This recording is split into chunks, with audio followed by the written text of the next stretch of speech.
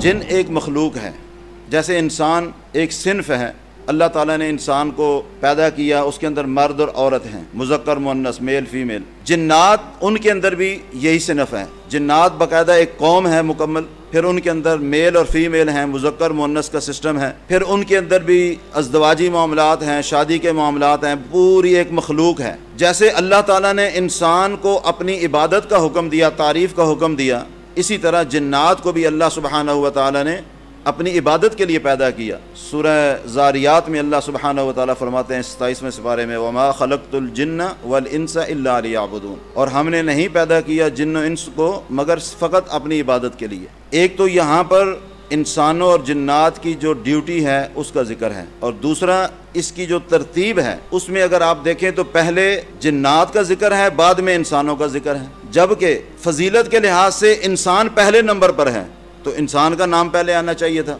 अफजल इंसान है, दूसरे नंबर पर जन्नात हैं। फरिश्ते हर वक्त इबादत में ही रहते हैं। उनको अलग अल्लाह सुबहाना हुआ ताला ने उनका ज़िक्र किया है। चूँकि शरीयत के मुकलफ इंसान और जिन हैं तो उस तरतीब में इंसान अफजल है, जिसका ज़िक्र कुरान मजीद के अंदर, सूरह बनी इसराइल के अंदर भी है। वलकद करमना बनी आदम व हमलना हम फिलबर वलबहर कि हमने बनी आदम को इज़्ज़त, तकरीम बुलंद मरतबा अता किया और हमने उनको खुशकी और तरी के अंदर सवारियाँ अता की, उठाया, फजीलत अता की, उनको बहुत नेमतें अता की। तो यहाँ से पता चलता है कि जन्नात के ऊपर अफजल इंसान है।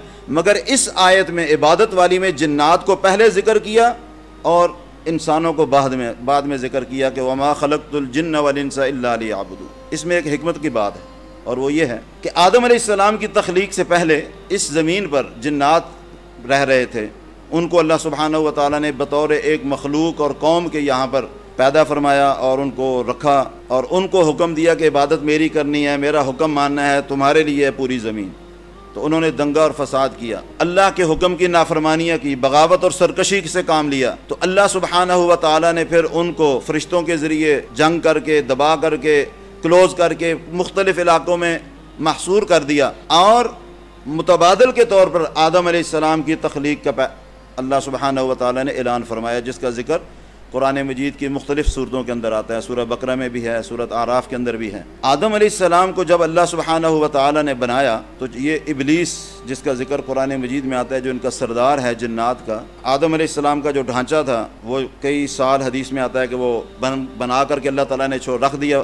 और वो इबलीस उस ढांचे के अंदर दाखिल होकर के चेक करता कि इसकी कमज़ोरियाँ क्या हैं। मैं इसको कैसे कैप्चर करूँगा? कहाँ से गुमराह करूँगा?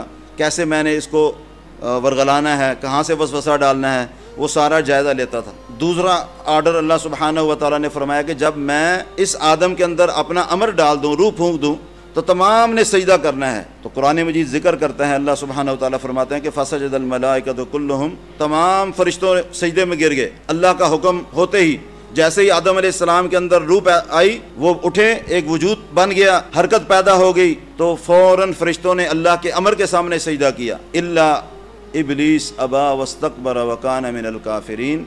इबलीस ने इनकार किया सजदा करने से। चूँकि वो उस बॉडी के अंदर से उसके खुफिया चीज़ें जो थी, उसके मजमरात जो थे या कमज़ोरियाँ जो थी, वो जान करके आया था कि कहाँ कहाँ से मैंने वसवसा डालना है, इसका दिल कमज़ोर है, फ़लाँ चीज़ कमज़ोर है, दिमागी तौर पे, नफसियाती तौर पे मैं इस पर असरअंदाज हो जाऊँगा, वसवसे डाल लूँगा, सारी चीज़ें उसने जाँच पड़ताल की, उसने हसद में आकर के इनकार कर दिया। अब ये जो मरहला था, यहाँ से हमें पता चलता है कि जन्नात के अंदर एक इंसानों के ख़िलाफ़ हसद पाया जाता है, दुश्मनी पाई जाती है।